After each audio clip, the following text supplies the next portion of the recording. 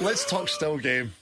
Never heard it, mate. Never watched it. You've just informed me, hope you don't mind me saying this, that you knew the ending a year and a half before you even did it. yeah, yeah. No, And you had that line to do. I did. Yeah. Were you worried about it? Oh yeah, yeah. Well, it was a huge honour and a huge privilege, but I- knew it was that there was a lot of weight. It's the final line after 17 years of you know something that's become quite iconic in Scotland. So yeah, it it, it weighed heavily.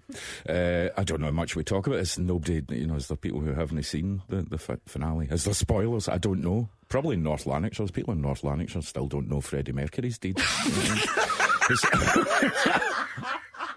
Do you know what I mean? They're like Japanese prisoners of war out there, some of them. Like, uh, really? What? Queen Freddie Mercury's away. So, so I don't know if we should say I think, we, I, think, I think it's safe to say that the vast majority of the country know that everyone's gone apart from you. Yes. Uh, yeah. Everyone's gone. They all faded yeah. They all away. fade away. Like And- life itself. And, and see when you look back at the day when you were filming that final scene and that final line that you say for the last ever still game, what was that day like for you? It was really extraordinary. It was very unusual. Normally, we all get picked up together, depending who's working that day. But that morning, I get picked up alone uh, because it was so early, and I was getting the, the makeup job. So that everything was different that day. Went out, no one else was there apart from me. Went into makeup. The crew get their breakfast. So by the time I came out, they'd all gone. So it was a very strange feeling. Normally, there's, we have some crack in the makeup truck, or there's people kicking around. So I was completely alone. Walked on set uh, into the Clansman alone. So it was a completely different kind of strange vibe and atmosphere the whole time. That the shot was ready, and we kind of went for it. People could barely look at me. It was all kind of heads down and like, mm-hmm, mm-hmm. Was that a sad day, Gavin? It, well, it was a strange day because you started the day with that, and then I went back to my mullet and everything, and we carried on as normal, doing other scenes from other uh, eps. Did you get emotional?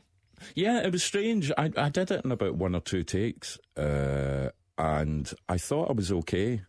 And then the makeup girl came in to check on me, and she just gently turned me round and put a tissue in my hand and went, "Are you okay?" And I, I didn't realise.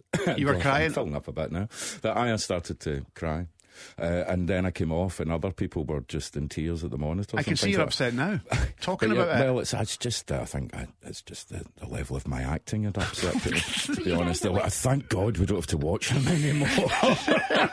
And don't forget, if you love what we do on Ewen Cameron in the morning, then click on the links below. Or why not subscribe here?